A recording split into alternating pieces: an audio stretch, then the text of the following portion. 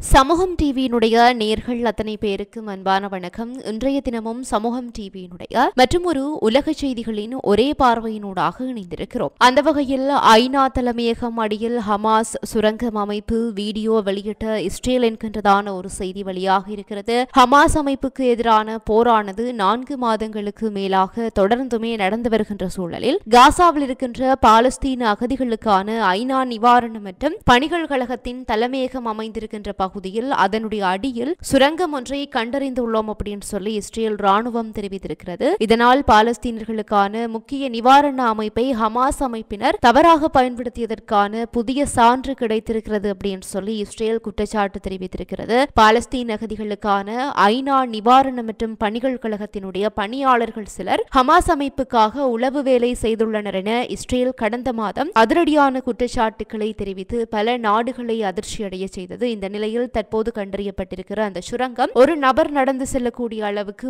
உயரத்துடன் இருக்கிறது அப்படின்னு சொல்லி அதை பற்றிய வீடியோ ஒன்றையும் இஸ்ரேல் வெளியிட்டிருக்கிறது. உள்ளே மின் இணைப்புகளும் கொடுக்கப்பட்டிருக்கின்றது. ஐநாவினுடைய பள்ளிக்கூடம் அருகே அமைந்திருக்கின்ற இந்த சுரங்கத்திற்குள் பெரிய மின்கலன்களும் வைக்கப்பட்டிருப்பதாக சொல்லப்படுகிறது. அதில் மின்சாரத்திற்காக தனி அறை அமைத்து அதன் வழியே தேவையான இடங்களுக்கு மின்சாரம் கொண்டு செல்லப்படுவதும் தெரிய வந்திருக்கிறது ஹமாஸ் அமைப்பினர் இந்த கட்டமைப்பை பயன்படுத்தி வந்திருக்கிறார்கள். சுரங்க வாசல் மற்றும் ஒரு புறத்தில் ஐநாவினுடைய வளாக பகுதிக்குள்ளேயே முடிகிறது அப்படின்னு சொல்லி சொல்லப்படுகிறது. அதனை சுற்றி பெரிய கட்டிடங்கள் அமைந்திருக்கின்றன. அது மட்டுமல்லாமல் ஐநா தலைமையகத்தினுடைய சேவர் அறையில் இருக்கின்ற கட்டமைப்பிலிருந்து சுரங்கத்திற்குள் மின் இணைப்பு கொடுக்கப்பட்டிருப்பதும் தெரிய வந்திருக்கிறது. இது அதிர்ச்சியை ஏற்படுத்தி இருக்கிறது. இதனால் ஹமாஸ் அமைப்புக்கு ஆதரவாக ஐநா பணியாளர்கள் செயல்படுகின்றனர் என்று இஸ்ரேல் கூறிய குற்றச்சாட்டுக்கு வலு சேர்க்கும் வகையில் இந்த வீடியோ அமைந்திருப்பதும் குறிப்பிடத்தக்கது. கான் யூனிஸில் ஒருவரை சுட்டுக் கொன்ற இஸ்ரேல் ராணுவம் என்கின்ற என்றுதான் ஒரு செய்தியும் வெளியாகி இருக்கின்றது. கான்யூனிஸில் கிழக்கு காசா பகுதியில் நாசர் மருத்துவமனையில் ஒரு பாலஸ்தீனர் இஸ்ரேலிய ஸ்னைப்பரால் தாக்குதலுக்கு உள்ளாகி உயிரிழந்த சம்பவமானது பரபரப்பை ஏற்படுத்தியிருக்கிறது. இந்த திடுக்கிடும் தகவலை வாஃபா செய்தி நிறுவனம் அறிவித்தும் இருக்கிறது இஸ்ரேலினுடைய கட்டளையின்படி பாதுகாப்பு படை குறித்த வைத்தியசாலையை கடந்த இருபத்தி ஒரு நாட்களாக கண்காணித்து வந்திருக்கிறது. இந்த மருத்துவமனைகளில் இருக்கின்ற அதிகாரிகள் மற்றும் நோயாளிகள் நீர் உணவு மற்றும் மருந்து தட்டுப்பாடு என பல பிரச்சனைகளை எதிர்கொண்டு வருகிறார்கள் இந்த மருத்துவமனையில் பத்தாயிரத்திற்கு மேற்பட்ட பொதுமக்கள் இடம்பெயர்ந்து வந்திருக்கிறார்கள். அது மட்டுமல்லாமல் நானூற்றி ஐம்பதுக்கு மேற்பட்ட நோயாளிகள் சிகிச்சை பெற்று வருகின்றார்கள். இந்த நிலையில் சனிக்கிழமையன்று இஸ்ரேலிய ராணுவ வாகனங்கள் நாசர் மருத்துவ வளாகத்தினுடைய வடக்கு வாயிலுக்கு வந்திருக்கின்றன. அங்கிருந்த ஒருவரை காரணமின்றி அவர்கள் சுட்டுக் கொன்றும் இருக்கிறார்கள். இஸ்ரேலினுடைய இந்த நடவடிக்கைக்கான காரணம் இன்னுமே தெரிய வரவில்லை இருந்தாலும் இந்த சம்பவ இடத்திலேயே தாக்கப்பட்டவர் மரணமடைந்திருக்கிறார் அப்படின்னு சொல்லிய தகவல்கள் கிடைத்திருக்கின்றன. மறுபுறம் ரஷ்ய தாக்குதலை தடுக்க மாட்டேன். ட்ரம்ப் திட்டவட்டம் என்கின்றதான ஒரு செய்தி வெளியாக இருக்கிறது. இரண்டாயிரத்தி இருபத்தி இரண்டு பிப்ரவரி மாதம் தொடங்கிய ரஷ்யா உக்ரைன் போரானது தற்போது வரைக்குமே தொடர்ந்தும் நடைபெற்று வருகிறது. இந்த நிலையில் அமெரிக்கா மற்றும் மேற்கத்திய நாடுகளினுடைய ராணுவ மற்றும் பொருளாதார உதவியுடன் உக்ரைனானது ரஷ்யாவை எதிர்த்து போராடி வருகிறது. சில மாதங்களாக ராணுவ தளவாட கையிருப்பு குறைந்துள்ளதாக கூறி மேற்கத்திய நாடுகளிடமும் நேட்டோ அமைப்பிடமும்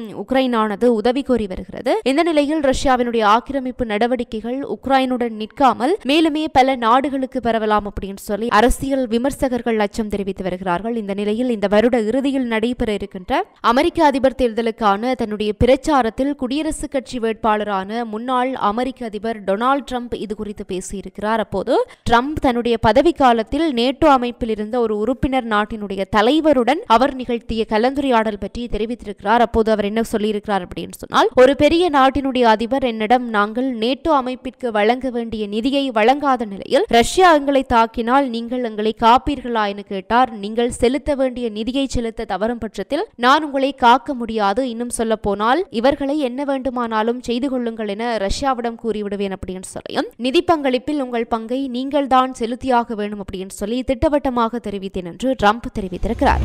மறுபுறம் ரஷ்ய போர் பகுதிகளில் எலான் மஸ்கின் ஸ்டார்லிங்க் வலையமைப்பு மூலம் செய்தி பரிமாற்றம் உக்ரைன் குற்றச்சாட்டு என்கின்றதான ஒரு செய்தி வெளியாக இருக்கின்றது. உக்ரைன் உக்ரைனினுடைய ராணுவ அமைச்சகம் கடந்த ஞாயிற்றுக்கிழமை ரஷ்ய போர் பகுதிகளில் எலான் மஸ்கினுடைய ஸ்டார்லிங் வலையமைப்பின் மூலம் செய்திகள் பரிமாற்றப்பட்டதை உறுதி செய்திருக்கிறது. இந்த படையின் மூலம் ரஷ்ய வீரர்களுக்கு இணைய இணைப்பு வழங்கப்பட்டும் இருக்கிறது அப்படின்னு சொல்லி உக்ரைன் நாட்டினுடைய ரகசிய பாதுகாப்பு அமைச்சர் உறுதிப்படுத்தி இருக்கின்றார். இந்த அறிக்கையில் ஒரு ரஷ்ய வீரனுக்கு பயன்படுத்தப்படுகின்ற இணைய இணைப்பு பற்றிய தகவல்கள் குறிப்பிடப்பட்டிருக்கிறது. மேலுமே ஸ்டார்லிங் மூலம் ரஷ்யா பல போர்க்களத்தில் இருந்த பெரும்பாலான போர் அமைப்புகளுடன் செய்திகள் பரிமாறி உள்ளதாகவும் உக்ரைன் தெரிவித்திருக்கிறது. இந்த அறிக்கையில் ரஷ்ய வீரர்களினுடைய உரையாடல்களை கொண்ட ஒரு ஆடியோ கிளிப்பும் இடையே சேர்க்கப்பட்டிருக்கிறது. இது அறிக்கையினுடைய நம்பகத்தன்மையை மேலும் வலுப்படுத்தி இருக்கிறது என்பதும் குறிப்பிடத்தக்கது. இறுதியாக பாலியல் வழக்கில் பொது மன்னிப்பு வழங்கிய சர்ச்சையில் பதவி விலகினார் ஹங்கேரி அதிபர் என்கின்றதான ஒரு செய்தியும் வெளியாக இருக்கின்றது.